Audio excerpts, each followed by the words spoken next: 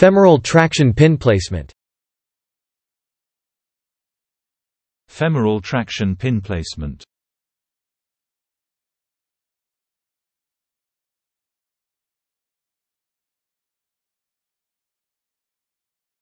Abstract This is a concise guide for the placement of femoral and tibial traction pins used in the setting of orthopedic trauma. This chapter includes indications, contraindications, and stepwise operative techniques. It also provides positioning, instrumentation, and helpful tips for pin insertion.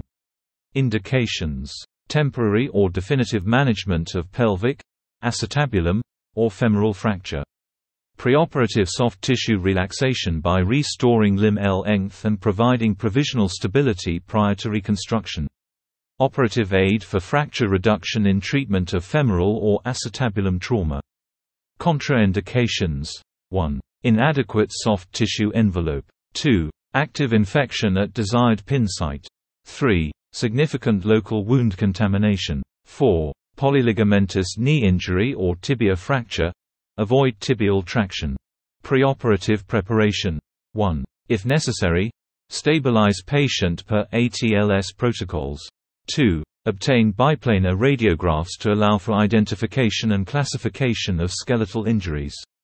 3. 3. Perform and document preoperative neurovascular and soft tissue examination. Special instruments, position, and anesthesia 1. A minor surgical tray with sterile towels, scalpel, fully or centrally threaded Steinmann's pin, power drill, bolt cutter, Steinmann's pinholder or K-wire bow, and weights for traction are required. 2. Fluoroscopy will allow for marking of the knee joint axis and may be helpful in minimizing the risk of physeal injury in children. 3. Place patient. Use a bump under the knee to allow for slight flexion. This will aid in ease of pin placement and prevent interference from contralateral limb. 5. The procedure is generally performed under local anesthetic. Inject anesthetic, usually lidocaine 1%, into subcutaneous and subperiosteal tissues on medial and lateral sides of extremity at desired pin location. Tips and pearls 1. Do not be distracted by the obvious injury. Be sure to fully assess entire skeletal system. 2. If the skeletal injury allows, assess ligamentous stability of knee prior to placement of a tibial traction pin. 3. The pin must be placed orthogonal to the long axis of the limb in all three planes. This is especially important if traction is to be used for maintenance of alignment over an extended period of time. 4. In older patients with osteopenic bone, Consider placing pins in a more diaphyseal location to prevent cutout and improve fixation.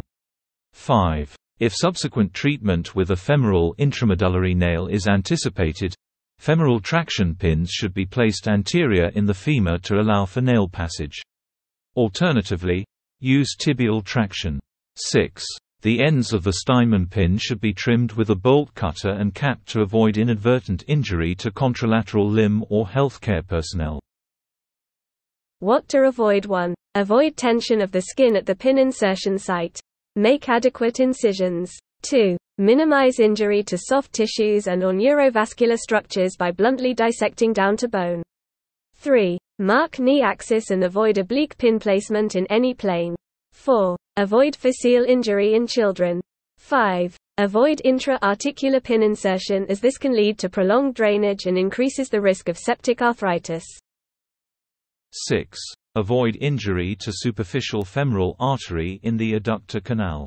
Insert a femoral traction pin from medial to lateral. 7. Avoid injury to common peroneal nerve. Insert a tibial traction pin from lateral to medial. Postoperative care issues 1. Wrap Vaseline gauze around pin sites followed by a rolled cotton dressing to protect the skin. Make sure this protection includes the area where the traction bow will rest to avoid pressure necrosis. 2. Place limb in the appropriate form of skeletal traction with a suitable hanging weight based on the patient and the nature of the skeletal injury. 3. After pin insertion, take radiographs to assess pin orientation and fracture alignment. 4. Document postoperative neurovascular status.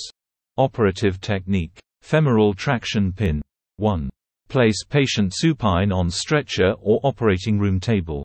2. Place a bump under the knee. The degree of knee flexion should correlate with the amount of flexion anticipated for treatment. 3. If available, consider using portable fluoroscopy to mark a line parallel to knee joint. This aids orientation and can help minimize physeal injury. 4. Prepare the leg with antiseptic solution and drape relevant area with sterile towels. 5. Inject local anesthetic into subcutaneous and subperiosteal tissue on medial and lateral aspects of leg at desired pin site, fixtures. 6. Make a vertical stab incision on the medial side of the leg approximately 1 to 2 finger breadths above superior pole of the patella at the adductor tubercle, figure 7. Bluntly dissect to medial femoral cortex using a hemostat. 8. Place a large threaded Steinmann pin, 3 16 inch for adults or 3 32 inch for children, using a Jacobs chuck and power drill through a soft tissue protection sleeve, figure 9. Palpate the pin as it exits the far lateral cortex. Make a stab incision to allow final pin passage through the skin.